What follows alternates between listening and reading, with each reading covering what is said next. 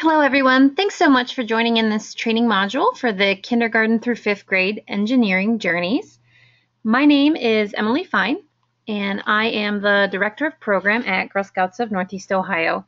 I'm excited to share this new journey with you today.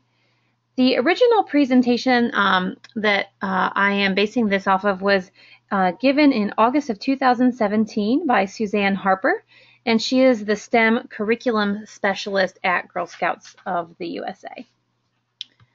So here's a quick overview of what we'll be talking about today. First, I'll introduce you to the idea of design thinking. I'll go through the new STEM journey structure in the specific activities that girls will do on this journey. And I'll also show you where you can find all the resources for the journey on the Volunteer Toolkit, also known as the VTK. We'll talk about how to facilitate the program and inspire your girls to use the design thinking process. And then we'll go over some of the engineering badges, um, including robotics and mechanical engineering, uh, and um, to show you how those will link to this new journey. By the end of this training, uh, you'll understand the new STEM journey structure and content, the STEM badge structure and content, as well as how to facilitate an engineering program. So let's take a look and uh, first and see what is design thinking. Here you go. I'm going to let you just look at this poster for a minute on the left. And this is available on the Volunteer Toolkit, the VTK, in the Meeting Aids section. You can print copies to take to your meeting as well. So there are two th key things to notice here. One, the design thinking activities are called design challenges, and girls are presented with a need or a problem. They're asked to use their imaginations and work in teams to come up with possible solutions, which they then test and redesign. Second, notice how the design thinking steps are almost exactly the same steps that the girls use when they take action. They see a need in their community, they brainstorm a way to address it, they test their ideas with others. For example, if they want to do a take action project for their school, they might talk to the principal or the school administrator to get feedback. They might redesign or tweak their idea based on that feedback. And of course, they share their solution. This journey includes talking points that make the connection between design thinking and take action. So what is a design challenge? Design challenges are not projects. When you do a project, you have a set of instructions. You follow the instructions to complete the project. For example, a project could be build a bridge. You follow the instructions and end up with a bridge. A design challenge could be come up with a way to cross a canyon. Girls can come up with any idea that solves the stated problem. There's a canyon. We have to get across it. They might build a bridge, or they might decide to design a zip line that people to use across the canyon, or they might build a model of a catapult that will launch people across the canyon. You get the idea. The goal is to let the girls use their imaginations and build a prototype of their idea. Their prototype can be a sketch, a rough model using common household items, or something more finished. Now let's take a quick look at the journey structure. So the new STEM journey structure and what girls will do on this journey is what we'll take a look at here. First, I want to give you some background on the new journey structure. Uh, GSUSA heard a lot of suggestions from volunteers about how the journeys could be made simpler and easier to use. They did extensive testing of this new structure to see if volunteers found it easier. The first version was created last summer and tested with a committee of council staff and some volunteers. They got great feedback, and based on that feedback, they created version 2. Version 2 was actually tested with 94 troops and over 1,000 girls. Again, they got great feedback on how to make it even simpler. They took the feedback and revised the journeys a third time, and that's how they developed the structure we're about to show to you. Just as another note, the outdoor journey is a little bit different because it's more badge based. For the outdoor journey, girls will do three outdoor badges and take action projects. If you keep it simple when you think about what is a journey, journeys are where girls learn about a topic that they're interested in and then they do a take action project to make the world a better place. So journeys are about learning something new and applying that knowledge through a take action project. We also need to make a pause here just to talk about the content partners for the engineering journey. Design Squad Global connects uh, 10 to 13 year old children from around the world, empowering them to collaborate to solve real world engineering problems and increase cross cultural understanding. Design Squad Global was created by WGBH, a PBS station in Boston. The program has been piloted with groups of girls and boys in the United States and overseas, and those groups are called DSG troops. But we've adapted these materials for Girl Scout troops and are also calling them DSG troops. The Society of Women Engineers is a nonprofit educational and service organization that empowers women to succeed and advance in the field of engineering and to be recognized for their life changing contributions as engineers and leaders. SWE is the driving force that establishes engineering as a highly desirable career for women through an exciting array of training and development programs, networking opportunities, scholarships, and outreach and advocacy activities. GSNEO has a relationship with a number of SWE organizations across Northeast Ohio. Here we go. Let's take a look now at the STEM journey design. Just a few things to note. If you're familiar with the original journeys, there are about 12 to 15 meetings. Now we have six. We had many activities and options in the original journeys, and we certainly heard from volunteers who liked having the choice, but many more volunteers said it was confusing. In addition, we had feedback that there was never enough time in troop meetings to use the meeting plans as written. So everything was trimmed down and tested to make sure that they worked. Now, as you can see, every meeting has four activity slots. The first three meetings focus on the STEM content. There's an As Girls Arrive activity that ties to the STEM theme, an opening ceremony where girls pledge the flag, recite the promise and law, conduct troop business, and are introduced to the STEM activity. Then they do the STEM activity followed by a closing ceremony. Each STEM activity takes 45 minutes or 30 minutes for daisies. The next two meetings have the same structure, but they're focused on the Girls Take Action project. And finally, there's the celebration meeting. These meetings were designed for the troop meeting model since it's the most common way that girls in kindergarten through fifth grade get together. However, it's a modular structure, so you can customize it to make it, uh, make it easier to deliver for you. For example, the three STEM meetings could be done in a day long workshop or as part of a day camp. Some troops might want to have the meeting to celebrate their achievement and have an awards ceremony, while others might want to use one of their meetings to celebrate something that they've accomplished. Well, what's most important is making sure that the girls learn about engineering, do a take action project, and of course, have fun. So let's take a look at the activities. The Daisy Design Challenges. So daisies take on challenges of making a fairy house, making a car powered by puffs of air, and crossing a canyon. Brownies take on the challenge of inventing helping hands or assistive devices. They design something uh, that will collect water, and they face the challenge of making a catapult that will shoot a ping pong ball across the room and hit a target. Juniors build a structure out of paper that must be able to support a book then they build an emergency shelter. And finally, they create a structure that can withstand an earthquake. Last fall, we piloted the Think Like an Engineer journey to find out whether girls found the activities engaging, girls achieved the Girl Scout leadership experience outcomes, girls achieved STEM outcomes, volunteers found the activities easy to facilitate, volunteers felt the new journey structure was clear, and worked well within the meeting. GSUSA got a lot of feedback. Representatives from 16 councils gave input as they were developing the pilot version of both the program and the evaluation. 10 councils organized pilots at the local level, 94 troops, and 156 volunteers did the pilot, and they got more than 1,000 girl surveys. Volunteers gave feedback on every single meeting in real time, and it was enormously helpful. It meant that we could read the comments about what worked and what didn't as the girls were doing the journey, and we could start making adjustments. 11 troops actually also videotaped the meetings, and by watching the videos, it added an extra dimension for GSUSA. They could see where girls were getting bored and where they were getting excited. So, how do you teach design thinking? The trick is to answer questions with questions. When girls start building, they'll probably find that their prototype doesn't work exactly as they'd planned the first time they try. or even the second or the third. They might ask you what to do or how to fix it. Resist the urge to tell them how to solve the problem. Instead, ask them questions to help solve the problem.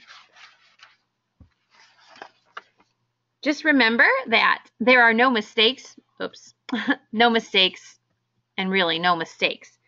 Girl Scouts is able to provide a safe space for girls to learn and fail uh, with grace and try again. So we're really trying to build those resiliency skills.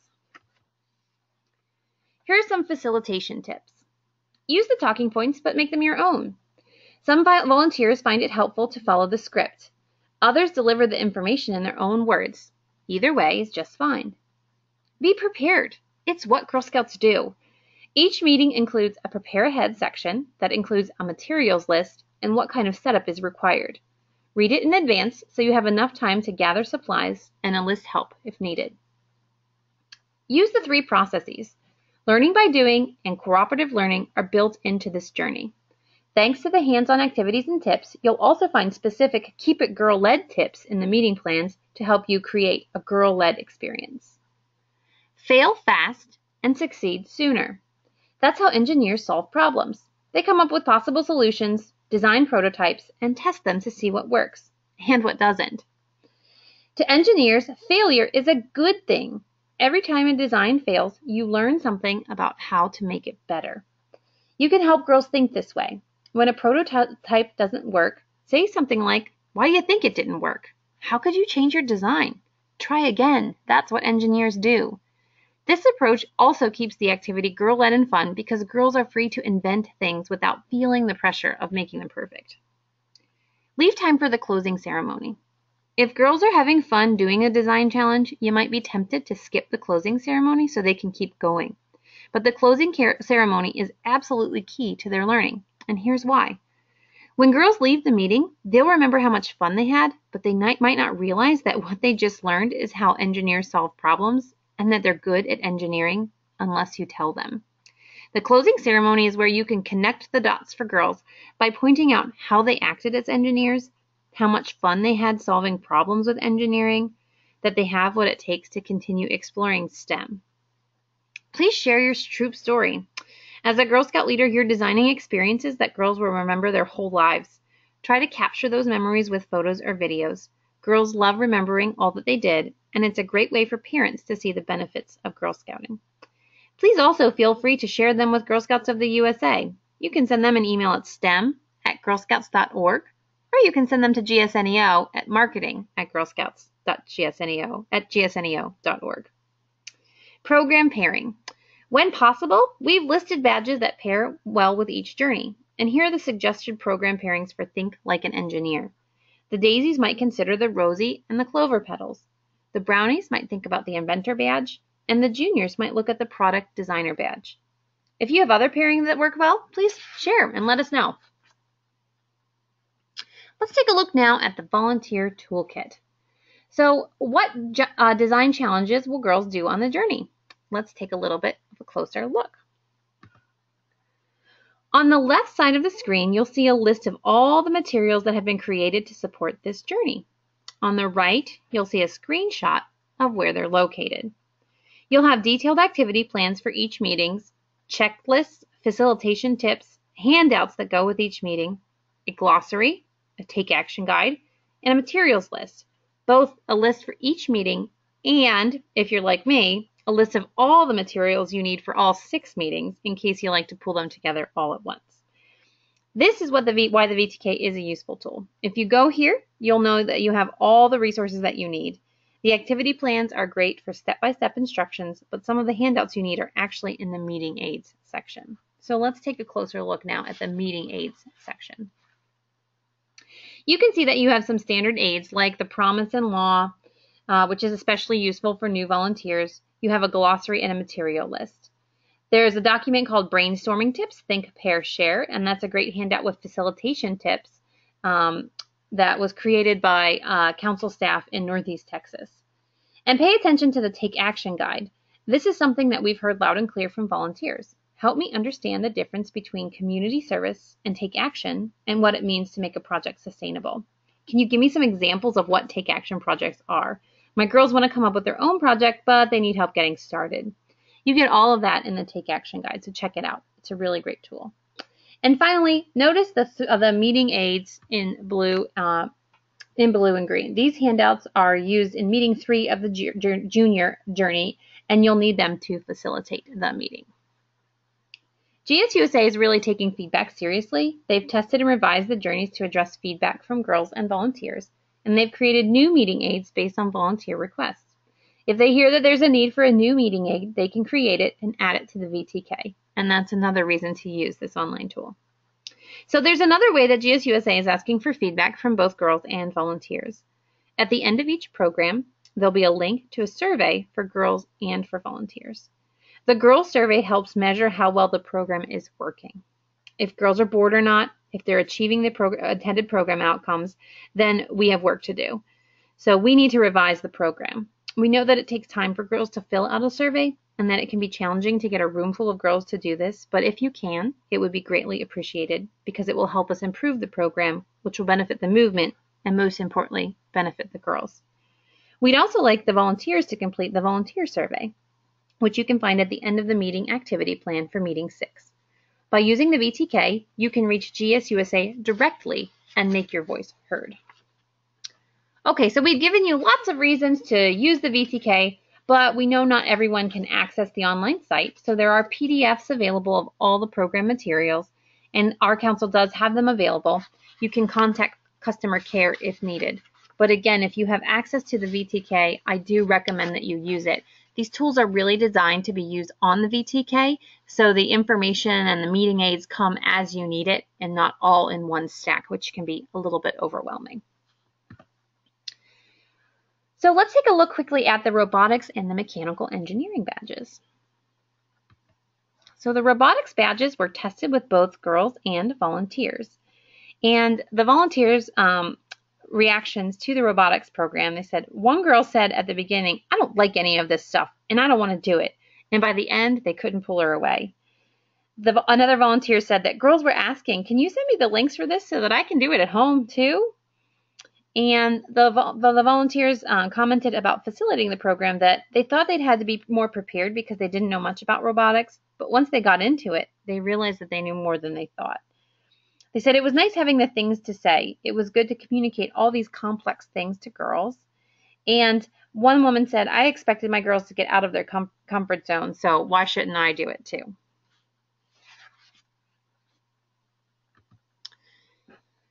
So uh, here's a little bit of FAQs about the robotics badges.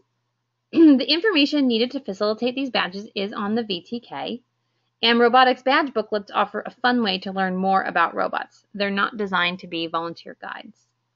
These are considered beginner badges. They've been, been designed for girls and volunteers who want to get started with robotics. However, if your troop has a robotics experience and wants to earn these badges, feel free to add more difficulty to reach the requirements. The badge activities are, as much as possible, unplugged. They've been designed so that girls who don't have the resources to buy robotics kits can learn something about robotics basics. However, if you have access to robotics kits, that's great. Go ahead and use them. If you have robotics expertise and want to offer suggestions for the next level of robotics badges, uh, please send your ideas to stem at girlscouts.org. Okay, and the mechanical engineering badges. So you'll see there's three uh, me mechanical engineering badges for the daisies and three mechanical engineering badges for the brownies. And these were actually designed to go with uh, a national partnership with GoldieBlox. Um, and GoldieBlox kits are available online to help complete these badges uh, in the Girl Scout shop. The kits are $99. Uh, they're reusable and they serve 12 girls. Um, and so the the thought behind this is that if you purchase the kit, you just open it up and go. Uh, that leaders won't have to uh, run around town to purchase a bunch of supplies. It is possible to do them without the kits. However, um, you know, at a price with less than ten dollars a girl, uh, the the kits actually are an economical way to go. Our suggestion might be to partner with another troop because the kits are reusable. Um, so maybe you could go together to purchase the kits, which would even lower the price per girl. Or maybe the service units might consider purchasing a kit that then they would loan out to area troops um, to work on these badges. So as we think about the new STEM badges, we just want to remind everyone to be a sister to, to every Girl Scout that everyone is a beginner at something and that everyone is an expert at something. And so while some people might be great at engineering, other people have great camping skills. And that when we pool our resources together, we're able to provide really amazing experiences with girls. So uh, let's work together to share what we know so that we can provide the best opportunities for girls here in Northeast Ohio. And I guess I want to share you with this final idea uh, as we think about engineering. So in the engineering process, we come up with an idea, we try it, and we either succeed or we learn something. And I think that gets to the essence of what this journey is trying to do, um, teach girls that um, we can learn from our mistakes and that making mistakes uh, can be a great opportunity for us. So with that, I want to say thank you for joining me on this quick module about the, uh, I'm sorry, this should say the Think Like an Engineering Journey. If you have questions, you can give me, uh, send me an email uh, at efine at gsneo.org. Thanks so much and have a great day.